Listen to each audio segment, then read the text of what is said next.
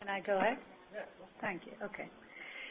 Welcome and thank you for standing by. At this time, all participants are on a listen-only mode until the question and answer session of today's conference.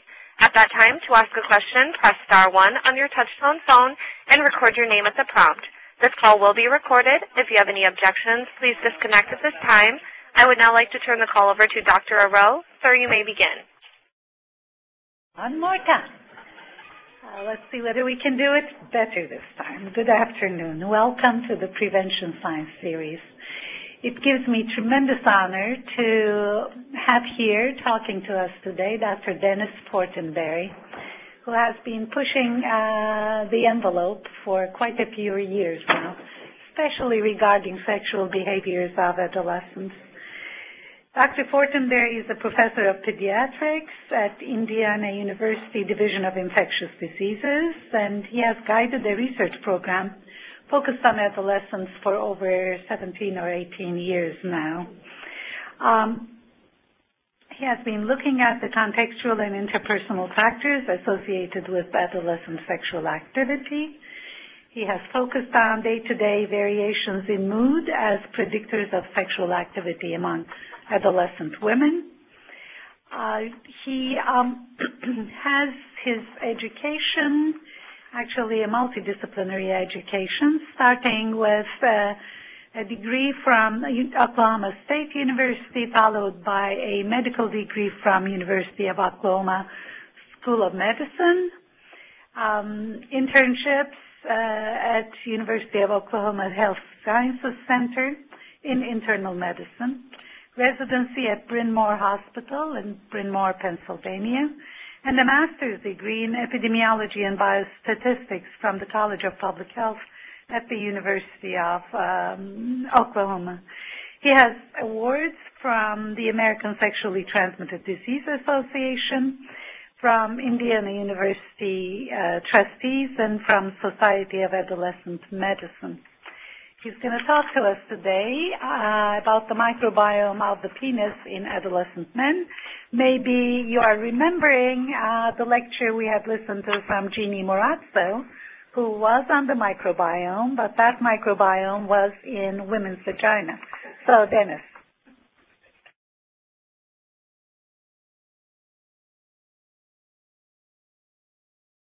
Well, thank you so much for having me here. I appreciate the invitation from all of you. It's nice to see people that I know and have worked with for many years now.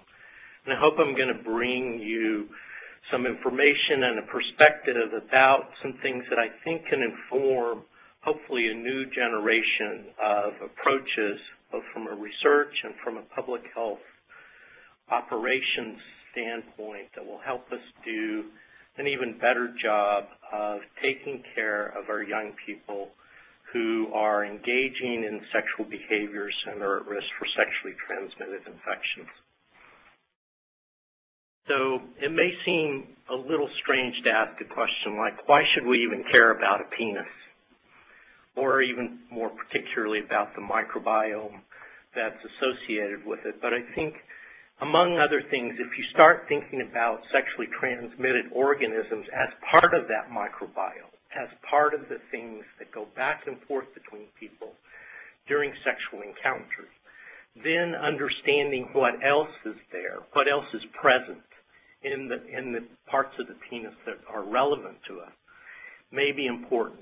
It's become clearly important in terms of human immunodeficiency virus infections as we've learned more about human papillomavirus infections, we begin to understand its role for this particular organ, organ as a transmitter of those viruses and their subsequent long-term association with cervical, oral, genital, and anal cancers. If you think about the incredible attention and focus on the role of circumcision as probably the single most effective intervention for the prevention of HIV infections in men that currently exist and think about the role that's part and parcel of the penis as in terms of and it may be that the reason that circumcision works has much to do with the changes in the microbiome that happen after circumcision. I'll show you a bit of data about that. I think maybe the fundamental reason, at least for me, is understanding why the penis is important, how it participates in this larger transfer of organisms, whether they're the ones that we traditionally call sexually transmitted, or the ones that are present in everyone's body and get passed back and forth, for which we don't fully understand the function. That part, I think, is even the most interesting of this. The focus on adolescence, I think, takes a different perspective. The reason that I'm fascinated with this age group and particularly interested in the issues of the development of sexuality during adolescence is to think about the transformation of our bodies that occurs during puberty, how that changes our orientation towards sexuality, which is always present in us prior to puberty, becomes manifest in particular ways with the body changes associated with puberty, brain changes associated with puberty, and with the social changes that accompany both of those. Those are the times when most young people initiate a variety of both solo, in this case I'm talking about masturbation, and partnered sexual activity. I'm going to make a case that all of those sexual activities are relevant to understand the microbiome of the penis. And of course, this issue of partner change, as young people initiate partner sexual behaviors, they don't always do it with the same person. So they're exposing themselves to a variety of microbiota in other people's bodies as they move from partner to partner. Partner change is, in fact, sort of the sine qua non of sexual public health, right? That's where we most see the important facets of the epidemiology of most sexually transmitted infections. I'm going to introduce the theme here that that I'm going to carry through the rest of this. And it's this idea of form, function, and microbiota. And my perspective on this is just is that just studying organisms is necessary but insufficient to understanding why these organisms are important relative to the sexual interactions that are the basis of our profession and the organisms that we identify as the ones targeted for our interventions. It's important to me to also think along the lines that we're not just talking about one particular microenvironment. If you think about the sexually transmitted infections that we focus on, organisms or infections like human papillomavirus infect a particular type of body site. They have a particular predilection to certain areas of the penis, and those areas are different than the ones that are typically infected by chlamydia, by gonorrhea, by trichomonas.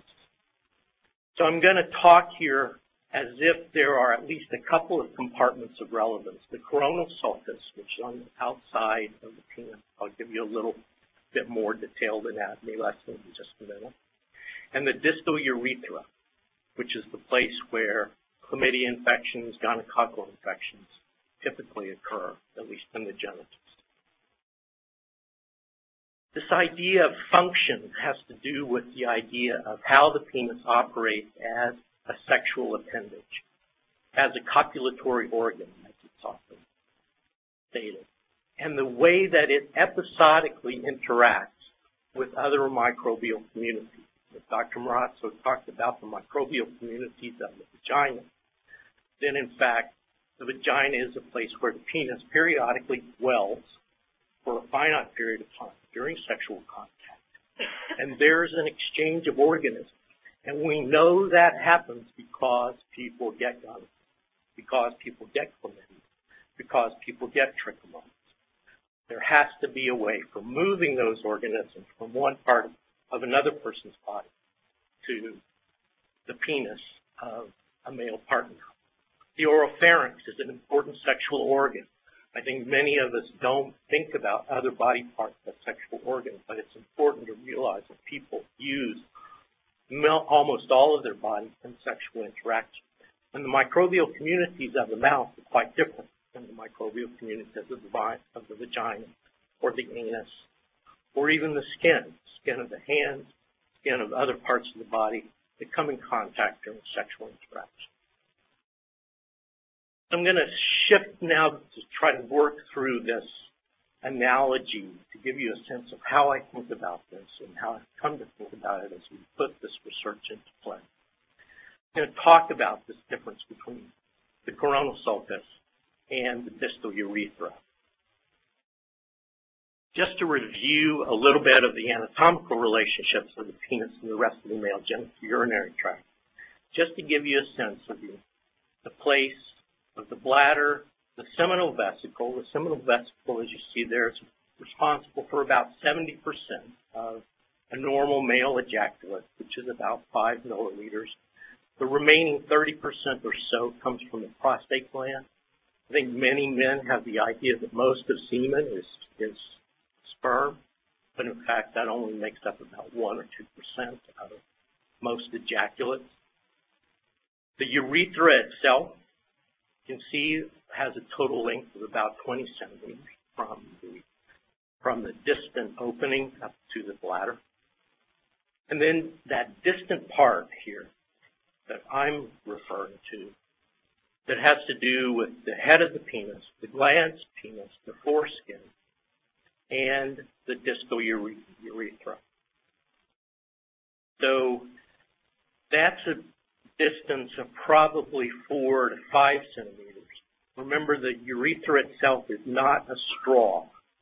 I think that many people also think of it as a tube that's perfectly smooth and which urine passes through unobstructed, but in fact it's a tissue. So there are ridges to it, it has texture, there are crypts, there are places where there's surface for organisms to go, and I'll show you a picture of that in a moment. I found that a lot of people don't know what a foreskin looks like or what it is, so I think it's important for everyone to have that in their head. But this is a fold of stratified squamous epithelium. So this is skin. On its outer part, it's stratified and squamous in the same way as the skin in most other parts of our external bodies. On the inside, it's also stratified epithelium, but it's moist. During arousal, during during erection, that force, that fold pulls back so that in fact its inner surface is now exposed to the environment. It becomes dry if, if the erection, if there's no moisture in the environment, or it became, takes the moisture that it's surrounded by. So those, that area between the lines is the inner surface of a foreskin.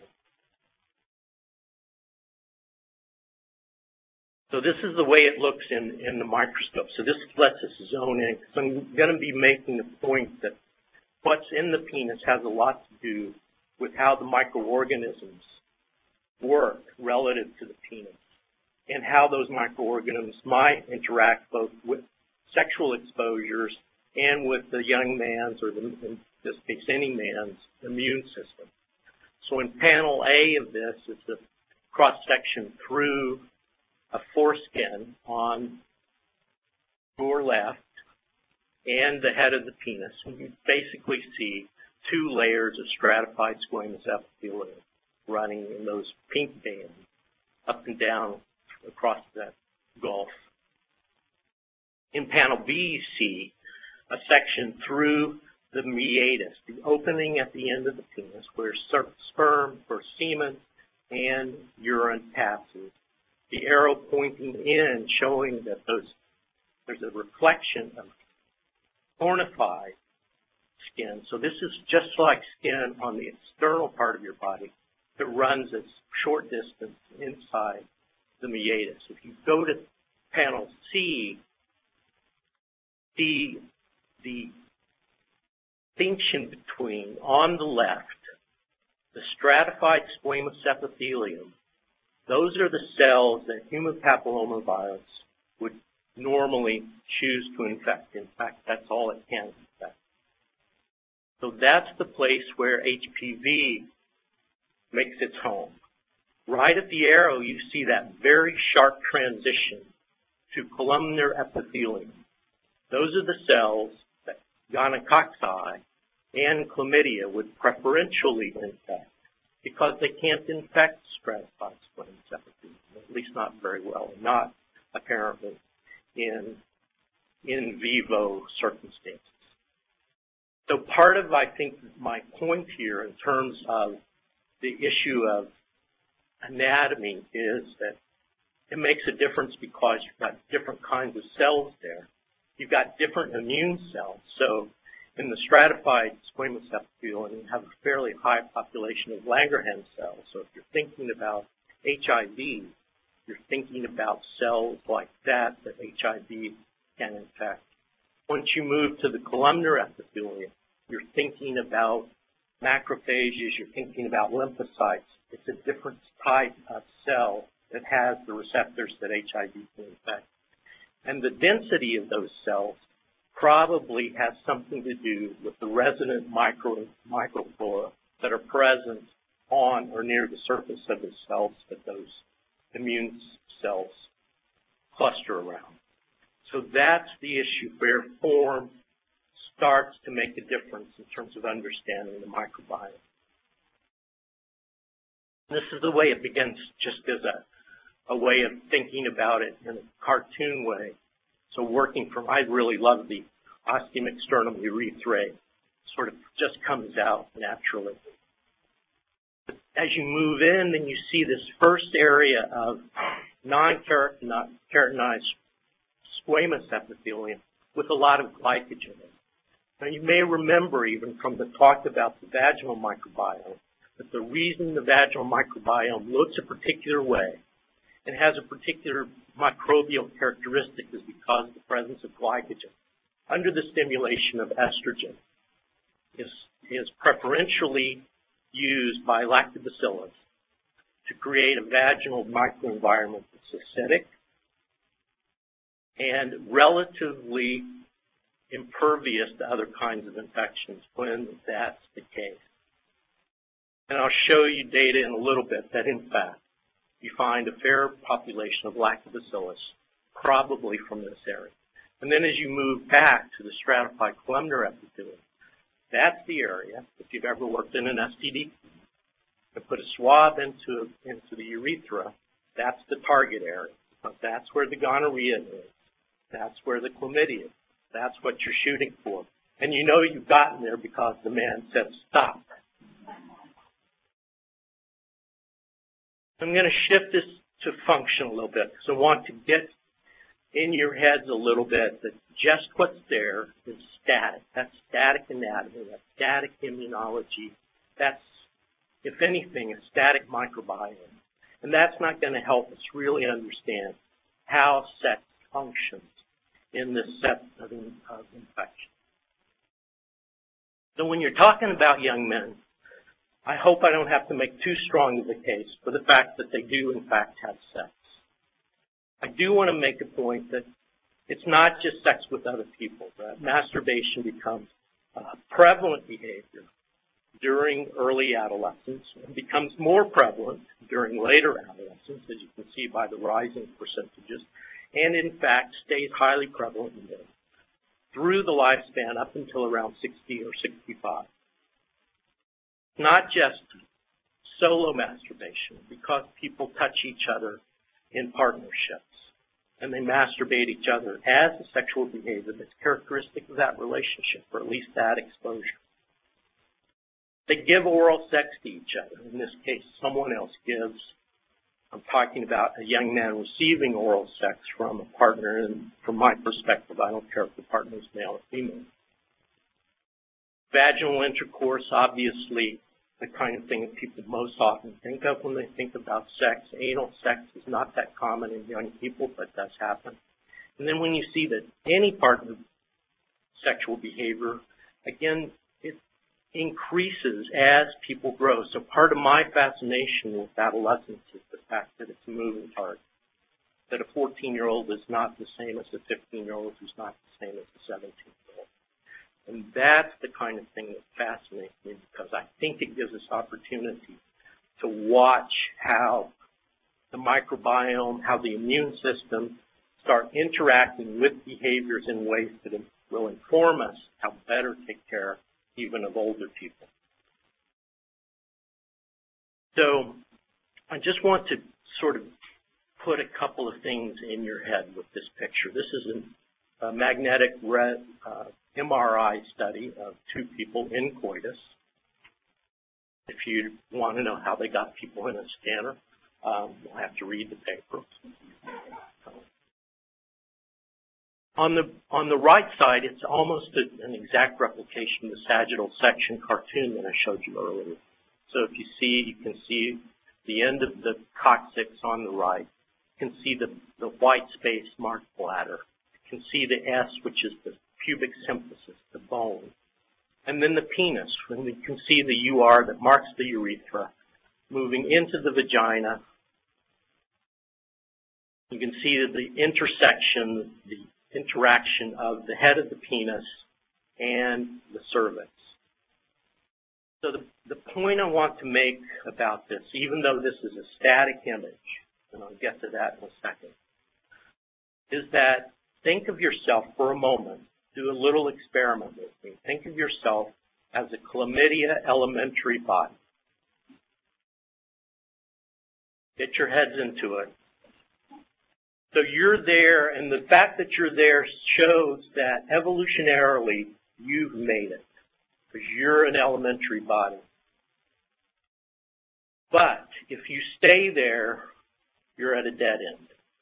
Your only option at this point to survive because this woman's immune system is getting ready to get you.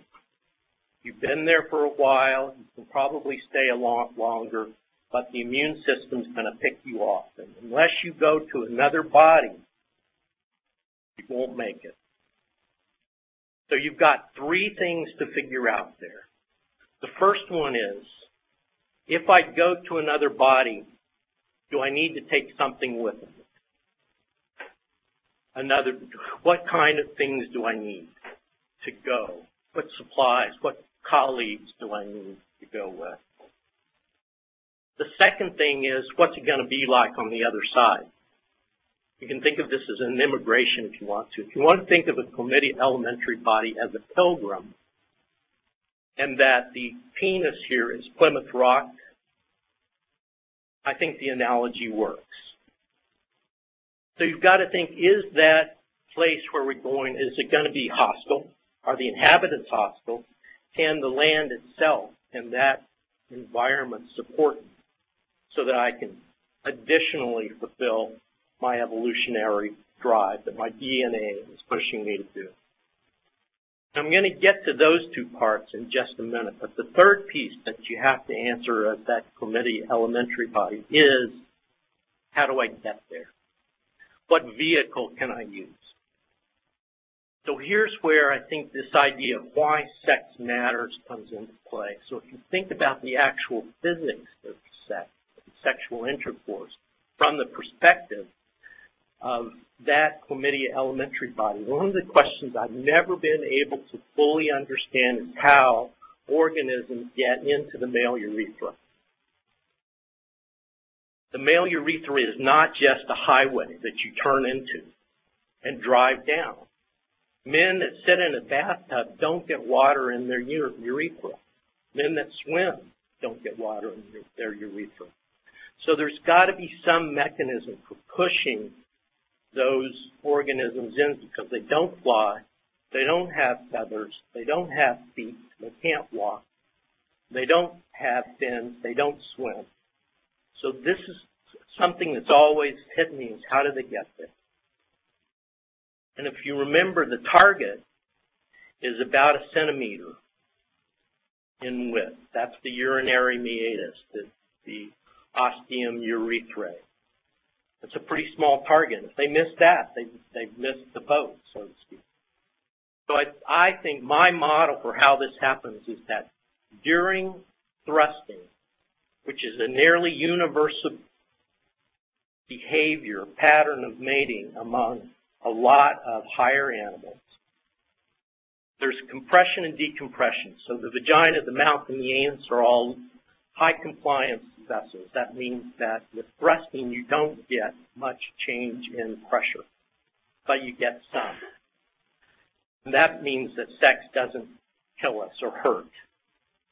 But it it creates an ebb and flow that is, I think, the engine for how the bacteria enter the urethra. In the microfluid layer, now the, the physics of microfluid layers are different than the physics of fluid running in a creek or in a river or in a stream across your floor after, after your sink stops up.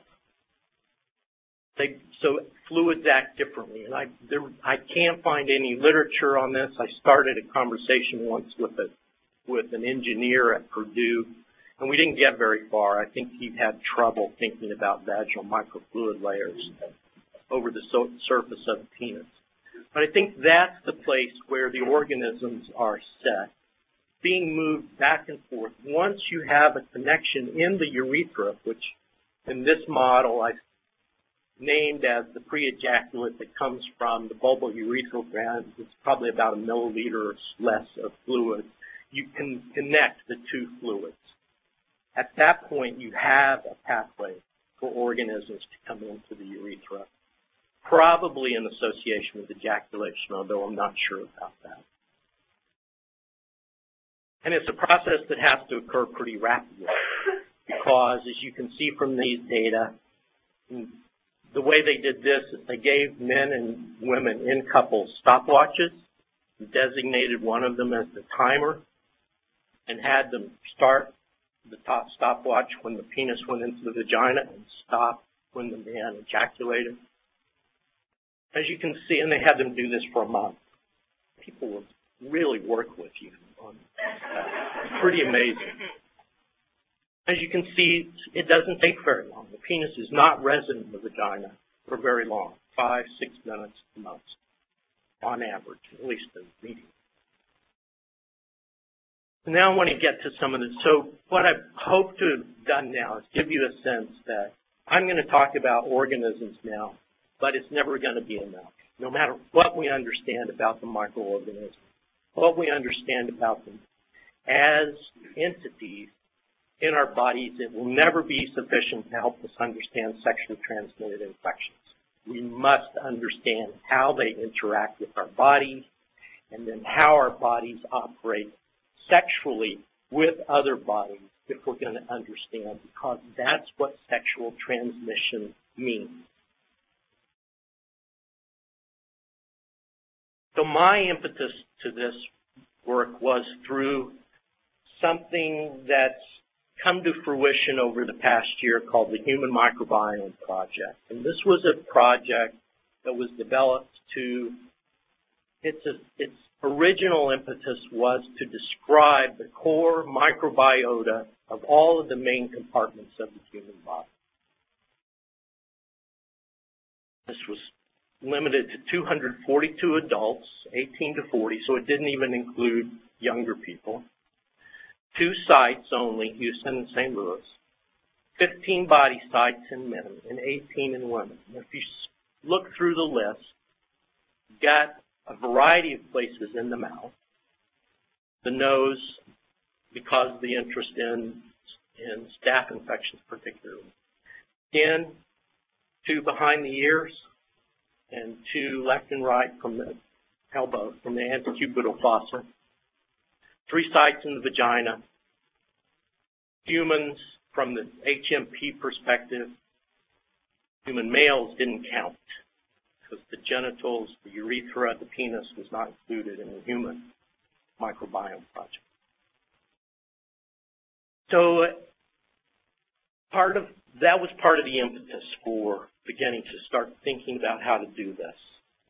About the same time, there was a lot of research coming out about circumcision, about how circumcision worked. Strong trials from Africa and other places demonstrated efficacy for the prevention of HIV infections in men. And this paper came out in PLOS ONE from a study of 12 men in Kenya, pre and post circumcision, 12 adult men showing really marked changes in the particular types of bacteria that were present on the coronal sulcus pre and post circumcision. So if you look at those two organisms on the left that markedly increase in their proportion sequences after circumcision, that suggests that what happens after circumcision is that coronal sulcus skin starts looking very much like other skin populations. Now, skin populations differ radically. They differ from left antecubital fossa to right antecubital fossa, but they do have some generalities in common.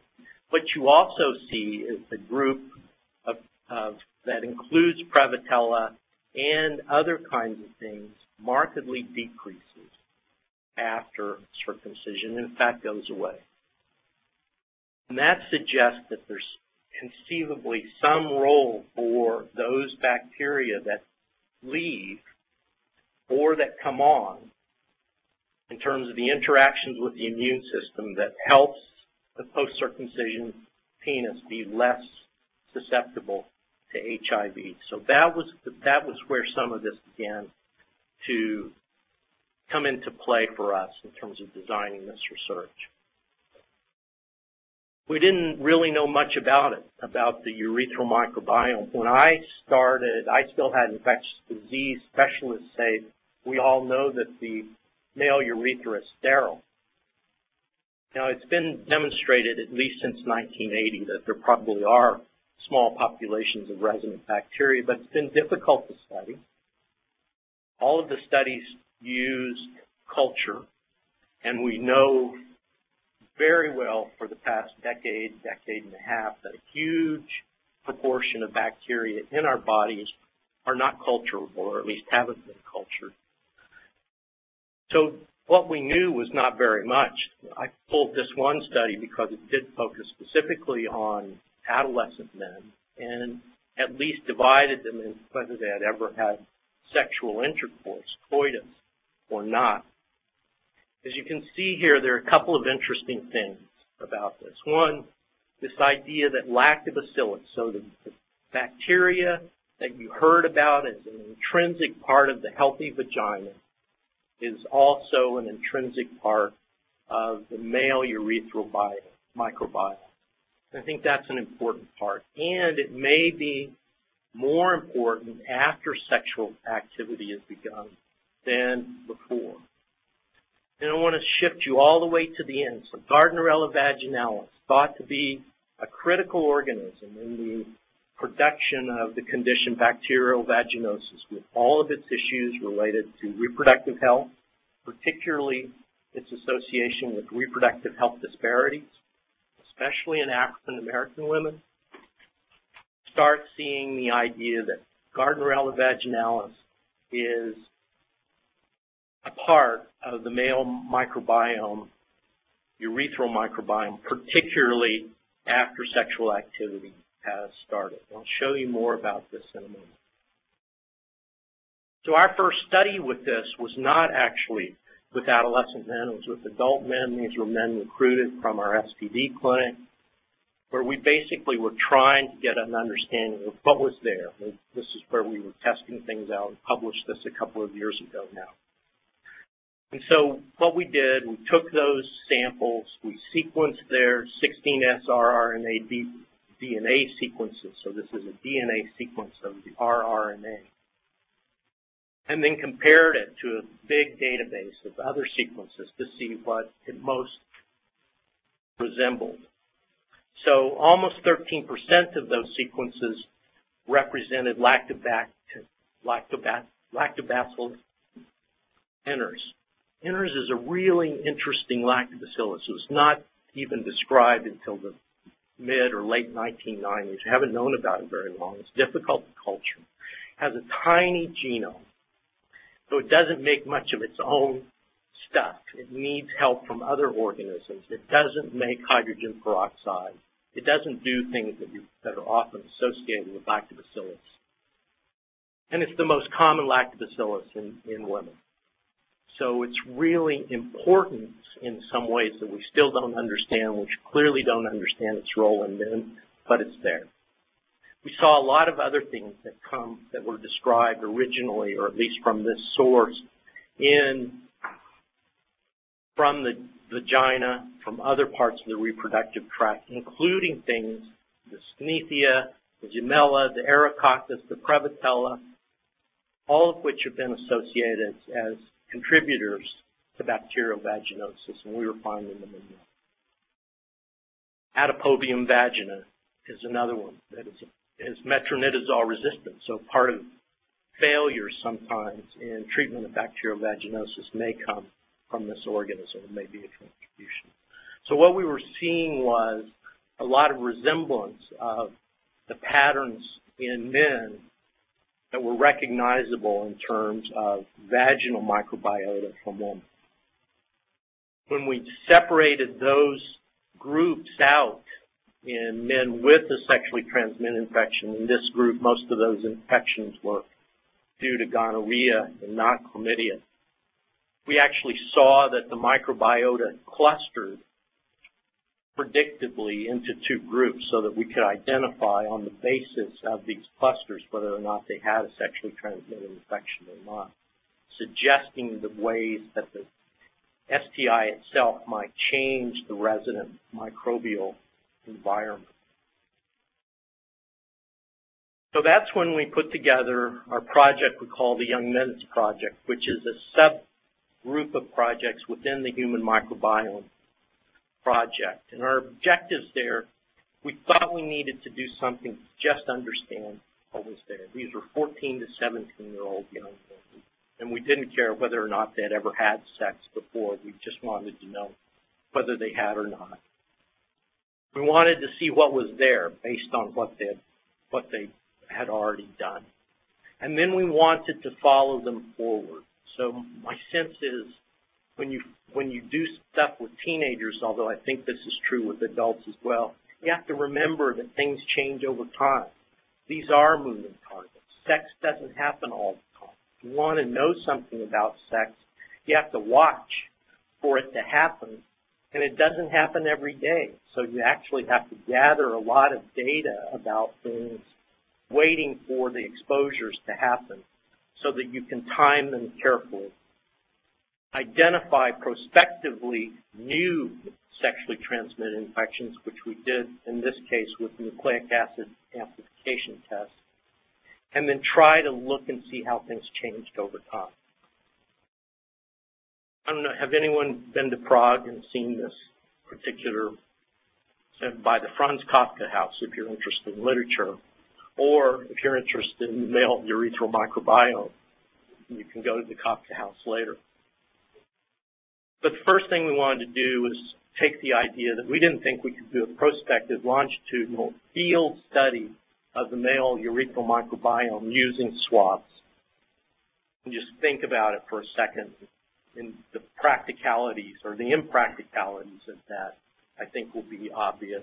And they will be especially if you see what we would have had to do to, or in order to sample with swabs the, the urethra and we were doing this repetitively. So you can get away with doing this in the clinic, and you can get away with doing this in some studies if you don't do it very often. We were doing it once a month. And so we needed to prove that our that urine was an adequate sample to at least represent the male urethra. So we gathered samples from men with and without STIs. We had we were doing this at the STD clinic as well. So they were getting urethral swabs for diagnostics and urine samples. We did the 16S sequencing as usual. And basically, if you see through the top 20 organisms here, with the one or two exceptions, we found very little difference between the, the, micro, the microorganisms that we saw with swabs and the ones that we saw with uh, urine tests. And we did that with in the men without sexually transmitted infections and found much the same thing.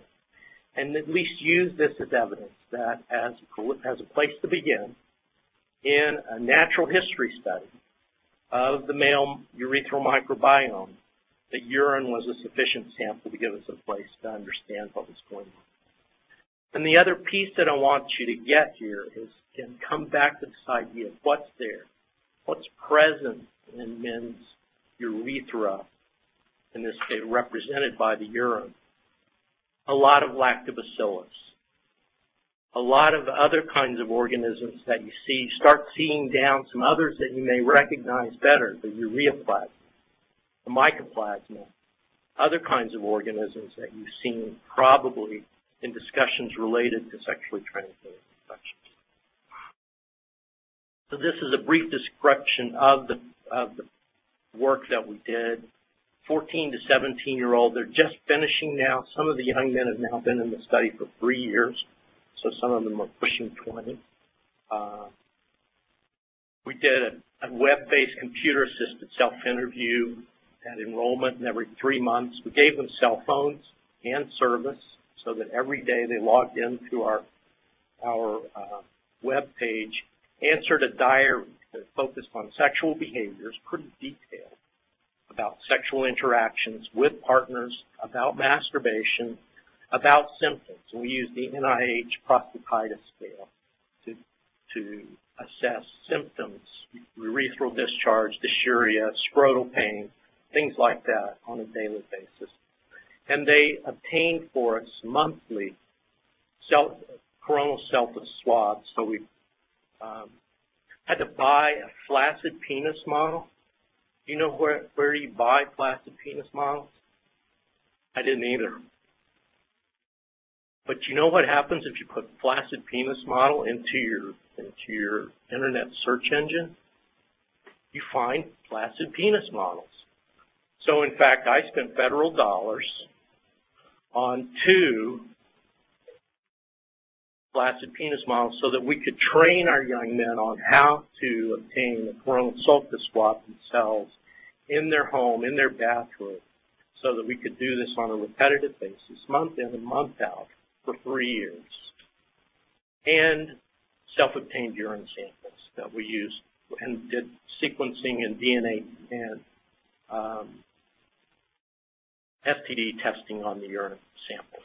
This is the way the, the specimen collection looked in terms of the organization of the study, the monthly samples at enrollment um, and exit as well, and then monthly Whenever the young men reported on the diary that they had a symptom or had a specific behavioral sexual event, we showed up at their house with cups and asked them every other day to give us another sample so that we could trace the changes in the microbiome over time. If on one of the monthlies, one of the STI tests was positive, we then showed up again at their house and collected samples so that we could trace changes during infection and through treatment. For example, if they got doxycycline for a chlamydia infection, we would be able to change, see how things changed over time. We don't have all of those data put together yet. This is what we began to see. This is out of a paper we published in the first 18 men in PLOS One a year or so ago. And there are a couple of things that I want to point out that I'll point out in, in more detail in a minute. The first is that the coronal sulcus, if you look at the high proportion of staphylococcus, the high proportion of the corona bacteria, and that large group of other things, the Prevotella, the Porphyromonas, the Finegoldia, the Delftia, all of those things that have been associated with moist environments. And then look at the urine, and the distinction there is that you see a lot of streptococcus, which you didn't see on the coronal sulcus. You see lactobacillus, which you didn't see on the coronal sulcus. You see Gardnerella, which you didn't see on the coronal sulcus. And then when you look at that in a slightly different way, so that it's set up to compare the coronal sulcus and the urine based on whether or not the young man was circumcised or not, what you see first, is the point I already made, is that the streptococcus is something you only see in the urine, and it doesn't matter too much whether they're circumcised or not. It's only present there, not on the coronal sulcus. As you also see here, is I also made this point that the, that the staph is what you primarily see on the coronal sulcus, but it comes after circumcision primarily. And then the point also that I made that Gardnerella and lactobacillus are present in the urethra, in the urine, but not present, and it doesn't matter whether they're circumcised or not. But then if you remember that study I showed you of the men from Kenya before and after circumcision, remember that the Prevotella went away after circumcision? We saw the same thing here in the sense that the circumcised, that we saw Prevotella only in the circum, only in the uncircumcised men. But we saw it both on the coronal sulcus and in the urine. And my point with that is that these may be distinct body compartments, but they're not perfectly separated. So that there's an over, so circumcision in this sense I'm proposing affects not only the coronal sulcus microbiota, but also the urethral microbiota. And that may explain, at least partially, why circumcision also affects rates of other sexually transmitted infections such as gonorrhea and chlamydia. I don't have proof for that, but I'm proposing. So when we look at the potential effects of sexual exposures, sorry, we see not a strong effect yet. We're, part of the problem with studying teenagers is no matter what your underlying assumptions about how much sex young men have, they aren't having as much as we think they are. And so part of what we've had to do is wait to accumulate enough sexual exposures to actually be able to get. But we, we've started to see some sense that at least when you look at the urethra, at the urine, that there are some effects of different kinds of sexual exposure, less from the vagina and from the mouth. So if you see here, the young men who only reported oral sexual exposures were the ones that had the highest proportion of lactobacillus in the urine. And the ones that had at least some oral exposures were the ones that had Gardnerella, again, the organism associated with bacterial vaginosis. This is consistent with observations in women as well of an association of bacterial vaginosis of Gardnerella with oral genital sexual exposures. So it brings into my sense, anyway, of the complexity of the interactions of these different kinds of sexual behaviors with the genital infections that we normally identify as sexually transmitted. We also wanted to know if whether there was any sense that these were stable populations because they'd been so difficult to study. So again, we took this lactobacillus iners and tried to ask if, if it was present at enrollment, was it still present in each subsequent month? As you can see, at least for these four subjects that had lactobacillus iners present at all in their enrollment sample, for all but one of the subsequent samples of still there. And these are the same, at least they correspond to the same reference strain, which is marked by the asterisk. That gives us some sense that whether, although there may be some fluctuation in populations, there may also be a stable resident population of particular species within the male urethra. And I promise I'm coming to, toward an end here. So one of the other kinds of things we wanted to begin to look at is, is what kinds of things you would see with or without a sexually transmitted infection that we could identify, in this case, chlamydia trachomatis. We just haven't seen much gonorrhea. We haven't seen much trich. We've seen a good, good bit of mycoplasma genitalium, actually. Um, and whether or not they had pyuria. We've seen a lot of young men with episodic pyuria. So they'll come up, they'll have white cells in the urine, they'll typically be asymptomatic. Sometimes they'll be present for two or three months running. The, the, the nucleic acid diagnostics are negative. They don't have any of the organisms that we, that we can traditionally look for. And then the white cells go away. So we've classified those and looked at them in terms of their the association with others. And you can see here this arcane bacteria, Diachrobacter, which is found in rice paddies and activated sludges, was present only in the in the young men in very in small amounts in the men with chlamydia and not at all in the young men with pyuria, but nothing else. And Finegoldia and Gemella were both present only, these are the same same groups of young men, only in those that had this episodic pyuria. Now, if these young men with pyuria showed up at the STD clinic and were tested, they'd be treated for non-gonococcal urethritis on the spot, even if they were asymptomatic, probably. And this begins to help me begin to think into that particular issue of what's going on in the young men that often, sometimes have symptoms, sometimes don't, have white cells, often don't respond to treatment over a period of time, sometimes do. Sometimes you see them month after month after month in the STD clinic, and you still don't know what's wrong with them. So the other, the final thing we wanted to do is try to get a sense if that idea of who goes with the chlamydia when it travels, and does it make a difference in terms of who's there. So we took baseline samples. We took those that had chlamydia infections at time zero.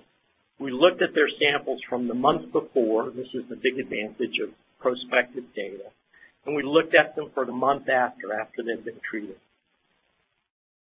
One of the things that we've seen is that if you lay all of those out, one of the effects, one of the things that is associated with chlamydia infection is that the diversity, so the number of different organisms within a specific sample, how varied is the population, especially in terms of its abundance as it runs through the chlamydia infection. So as you can see, even the month before, so the month before their diagnostic chlamydia test was negative, even before that, we had already seen an increase in diversity. We think this may represent this initial perturbation of the microenvironment of the urethra that precedes the chlamydia infection itself. I don't know that for sure. I don't think these data are strong enough to say much more than that. It's suggested to us it's a place to continue to explore because that suggests other ways to influence chlamydia infections other than just giving antibiotics for it. We saw a change in the, the total number of sequences and the final stuff I just wanted to present is that some things change in the men that get have chlamydia. So this is all of the, the subjects that had chlamydia. The month before, you can see that a number of them had Finegoldia, five of them. At the same time that they got chlamydia, most of them had lost their Finegoldia, all but one. Some participants got an organism over the course of their chlamydia infection. In this case, they acquired Veillonella after they had been treated for the chlamydia, which wasn't present the month prior to their chlamydia infection. I don't know what those organisms might be doing. There There's some hypotheses in terms of the kinds of things that might be happening. But those are the kinds of things that we've begun to inquire about. So just to sum this up, pushing this idea that form, function, and microbiota are really the essential kinds of things that we have to be able to begin to understand. The coronal sulcus and the urine have distinct but potentially interacting and overlapping microbiota, relatively stable populations, at least of some organisms, the importance of the alteration of the microbiota by circumcision, but not just of the coronal sulcus, but of the urine as well.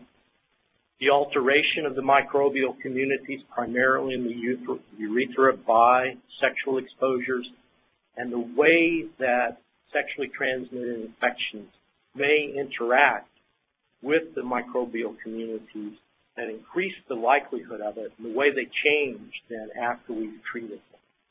All of those, I think, are the places that we're going with this research as we move more into it.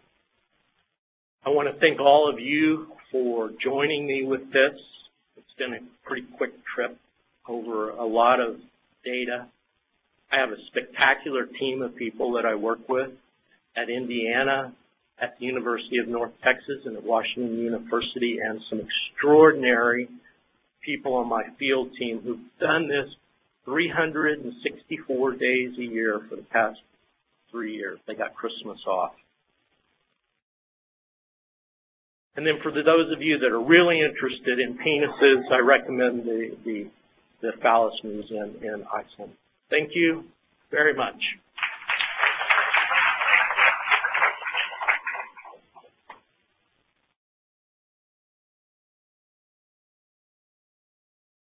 Hello, operator? Yes. Can you open the phone line for people to ask questions, please? Thank you. Yes, if you would like to ask a question, please press star one on your touch-tone phone and record your name at the prompt. Please wait a moment for any incoming questions.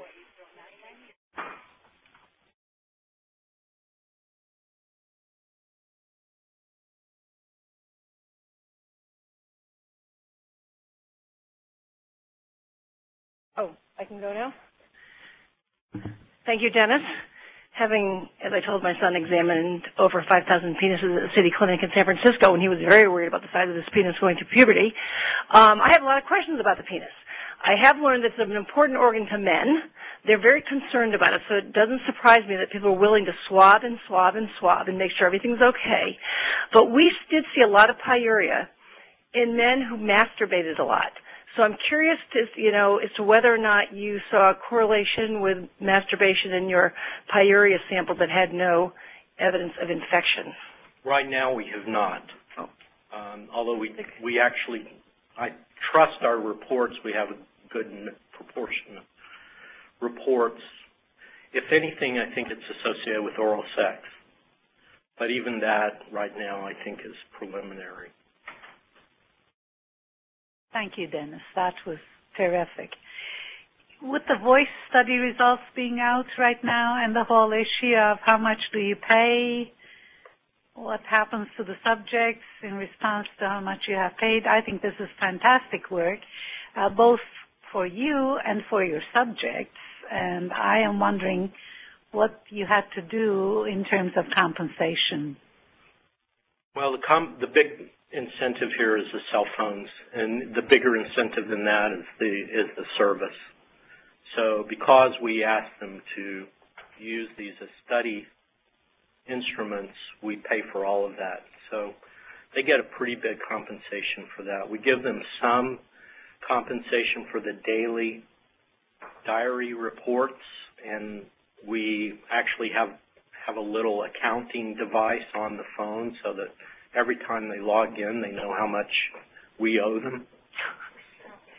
Um, and we pay them monthly. So, um, and part of my philosophy is I don't engage research participants as volunteers in the sense that whatever they give me is okay. I engage them as employees of the research, and I ask them to deliver. Now, I'm a pretty easy boss in general, but especially with my research participants. So I'm pretty flexible, but I still have standards, and they have to deliver or I put them out. So, Dennis, one of the confounders when you're talking about um, looking at uh, the male microbiome is what the females are doing.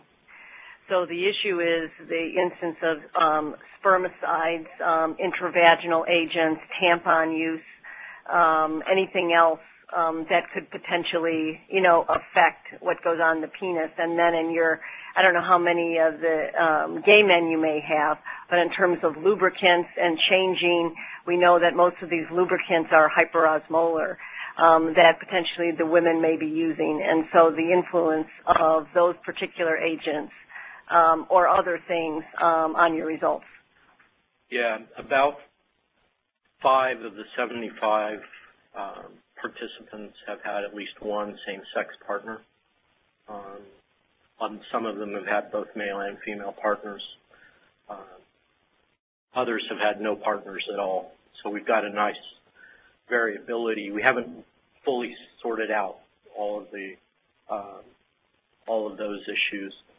And I, I think your point about the fact that this is a two-person issue, which is really germane to the structure of my talk, is exactly right. We just have not fully solved the design issues required to do a partner study in adolescents.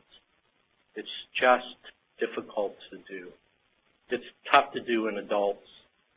Um, we can do this in using young men or young women without involving their partners because we involve their parents and we involve them in everything that we do.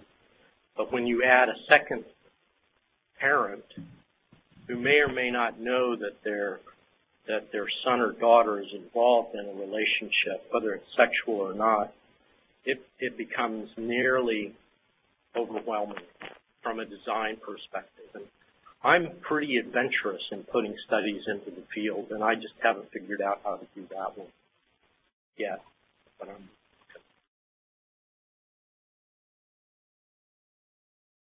Are there questions on the phone? Yes, we did have a couple questions queue up. Our first question comes from Denise Anderson. Denise, your line is open. Hi, Denise. Yes, hello.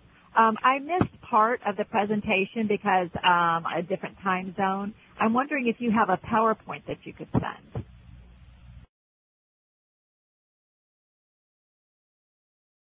It will be posted on the on the Division of STD Prevention website.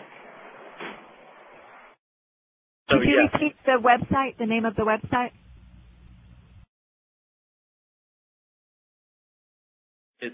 It's CDC. It's the Division of STD Prevention website. If you send your request to Patricia Jackson, I'll make sure that you get the link to the website. Thank you. One other question? Our next question comes from David Martin. David, your line is open. Yeah, thanks. Hi, Dennis. Hi, everybody. It's really interesting to see how these data are evolving. to answer Tim's question, um, is uh, it's very correct that doing the studies even in adults is difficult. We've got about 200 couples that we've studied out of our STD clinic, so we'll be able to address some of those questions uh, soon, I hope. So, Dennis, I wanted to ask you, uh, have you done uh, principal components analysis on these data? I was very interested to see the change in flora, or at least based on uh, the presence or absence of organisms, because you didn't present any abundance data, but looked like the men, before they got a chlamydia infection, had a shift in the flora. And so you've been doing this work. What you showed us was the, the presence or absence data. Have you, have you done principal components analysis? Are you planning to do that uh, with, with these men to see whether the overall flora is changing significantly? Yeah, it's a great question, Dave, and we have done it. The, and I'm, I just didn't feel comfortable yet with the data. In part, you know, we've got about 15 total chlamydia infections. Now that's a pretty high incidence of disease, but it's just not quite enough to help me be comfortable that those representations are are are sufficient to to put in front of people yet. Yeah, hopefully you'll be able to get enough cases to do that. That'll be fascinating. Yeah, I think I, I, my, you know, my worst fear is that we will, it'll be tantalizing but not definitive. Uh, oh, that'll be the basis for more grant proposals. That's my excuse, and I'm sticking with it. Other questions? We are showing no further questions at this time. Thank you all so much. Thank you, Dennis. And we do have a discussion session which is scheduled to start at 2.30. where you can have more intimate questions and answers with Dennis. It will be in Building 11 in room 2214. Am I right, Patricia? Room 2214, Building 11. Thank you all. That does conclude our question and answer session. You may disconnect at this time.